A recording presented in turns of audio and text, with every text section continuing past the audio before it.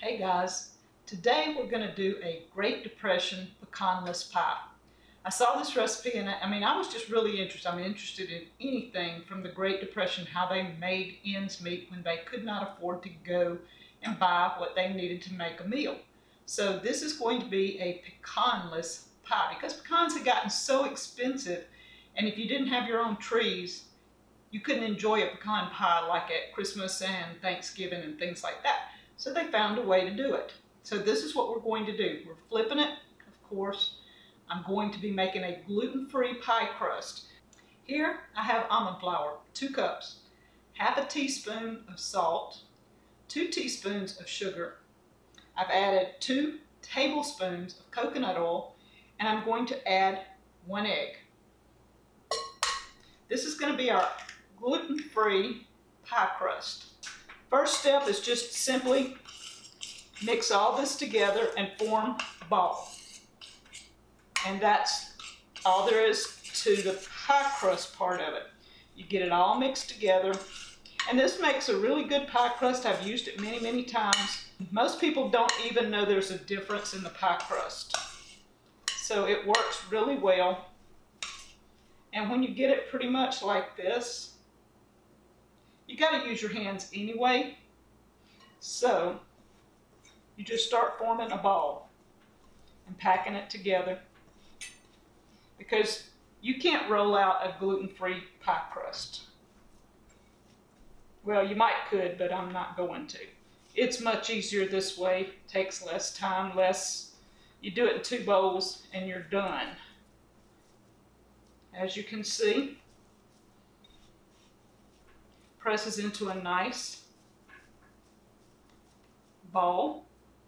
There you have it. Okay. Now, pie crust. We're going to take a pie pan that a friend of mine gave me. She brought me several of these, so I have plenty, and I'm probably going to use them for our gathering. And while I'm talking about it, I've got on my gathering apron. So our fall gathering is going to be October the 28th. We would like for you guys to come and join us. Anybody that's close enough, or even if you're not close enough and you want to drive, come join us at Flint Creek Water Park on October the 28th. It starts at 10 o'clock. It is a potluck. And for anybody that doesn't understand what a potluck is, that means you bring food. And I don't care if it's homemade I'd love for it to be homemade if you got time to make homemade. But if you want to go buy Popeyes or Pizza Hut or Piggly Wiggly or, you know, wherever, Subway, I don't care. You go buy, pick up some food and bring it. Just know you got to share because I like Popeyes. I don't care which way you do it, whether you cook it or you bring it, but we need desserts, we need vegetables, we need casseroles, we need meat. If you want to bring hot dogs and hamburgers and cook them there, or you want to cook them and bring them. It's up to you. There are grills available. Uh, you may want to bring some charcoal because it is a charcoal grill. Just cover all your bases when you come. Make sure you bring what you need. We will be in the Lakeside Lodge. That is um, a nice building. It's a brick building. It is handicap accessible. So anybody with uh, issues that has to have a way to get in, like wheelchairs or a walker or anything like that, it's, it's there. There are bathrooms inside the building. We're also near a pavilion that has extra bathrooms. We have a lakeside view, which is beautiful. There are picnic tables outside. You can also bring your lawn chairs and sit there outside, if it's not raining, that's why we have the building. If it's raining or it's cold or whatever, we have air conditioned heat in the building. If it's nice, we're outside, bring lawn chairs, sit out. If you want to go fishing, make sure you have a Mississippi fishing license or you buy an out-of-state fishing license before you come because it is a um, Pat Harrison Waterway District and the game wardens do uh, come through checking on occasion. Ask Danny, he got checked one time when we were out there. The only time we've ever went out fishing and he got checked. Um, and he did have a license, okay? So that's part of it. It has porches. Okay, that's my pie crust. We're gonna put it in the oven for about, I don't know, maybe five minutes because I really don't want it cook, cooked. But if you're gonna cook it and then add a different type that doesn't need to be cooked a lot, you would do it 10 to 12. But I'm gonna put it in about five minutes. And that is at 350. Okay. So with the gathering, this um, is a gathering apron made by Grandma Rose. Um, her Etsy site, I think, is Absolute Wonder. She has these gathering aprons for sale. And the reason it's called a gathering apron is because here you can pull it up and it makes this cute um, basket. And this thing runs down. And if you're outside and you need to put something in your apron, you know how you're always outside and need and something to tote something and you're out from the house and you don't have it. You can put your veggies, your eggs, uh, whatever you find out there and do it. And then just to let it down, you mash the little thingy, it goes back into an apron. We're gonna give one of these away at our Deep South Homestead gathering. The one I've picked has got fall colors, so it goes with the fall gathering. Then we're giving away from 7D Farms. She's all, both of these are both in Mississippi. That's one reason I chose them. Um, 7D Farms is bringing me some bread. I'm going to give away two loaves during the day of some type of specialty bread that she makes. Now we're going to move on to our Great Depression pecanless pie. It's also called an Amish oatmeal pie because we're using oatmeal. All right, to start with, we mix all our ingredients together and have it ready for our crust, which is in the oven, and we're gonna take it out and have it ready here in just a moment.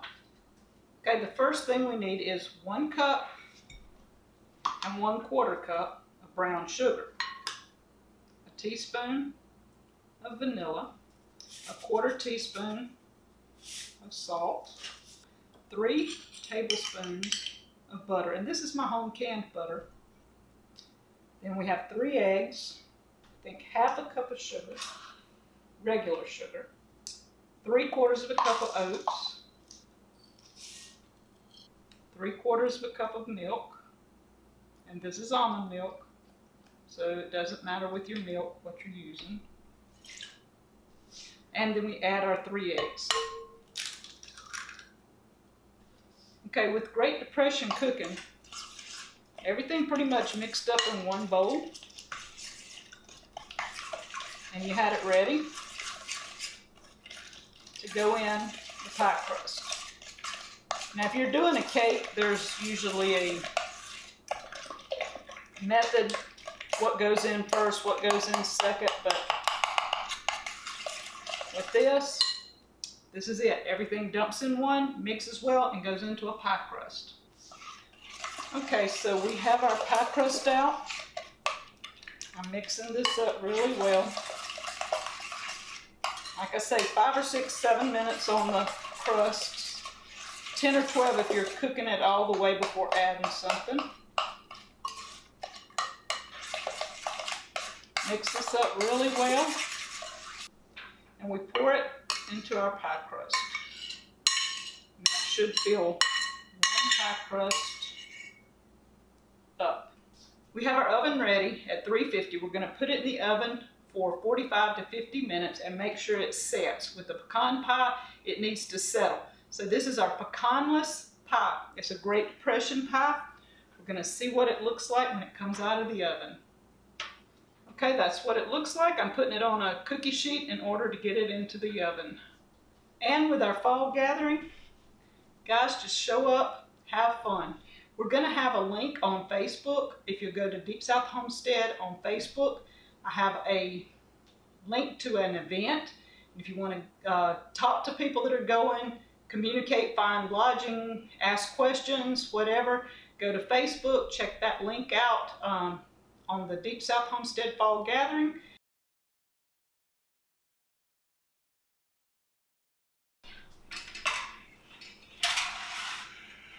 It looks like a pecan pie, only it's oatmeal. So this is our Great Depression pecanless pie or an Amish oatmeal pie. It's rounded up now and I'm sure it's going to settle in a few minutes. So we're going to see when it cools off about 30 minutes or an hour what it tastes like. Okay guys, so we have our pecanless pie here. Actually, it is an Amish oatmeal pie. You see I've already cut one. It's settled. It's That's what you want. You want it where it's packed and settled. After it cools, that's what it does. Here, I have my pie. We're going to try it. I've got my candy corn coffee. I'm going to sit down and eat this and drink some of my coffee. Let's see what it tastes like. Our pecanless pie.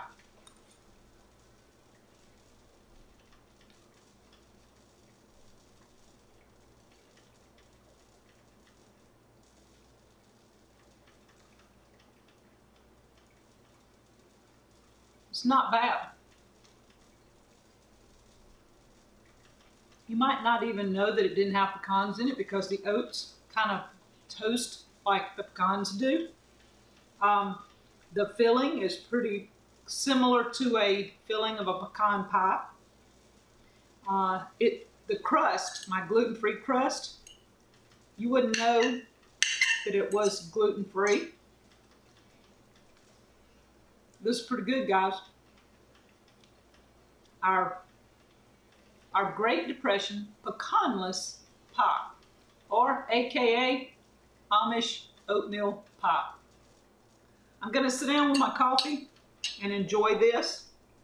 And I, again, I want to invite each of you to go over to Deep South Homestead on Facebook and like the Facebook page, but also go to our event of Deep South Homestead's fall gathering and click on if you can go or whatever. And if you have questions, click on there and start asking your questions. We'll see you in October, on October 28th at the fall gathering. If not, we wish you could be there. Thank you from Deep South Homestead.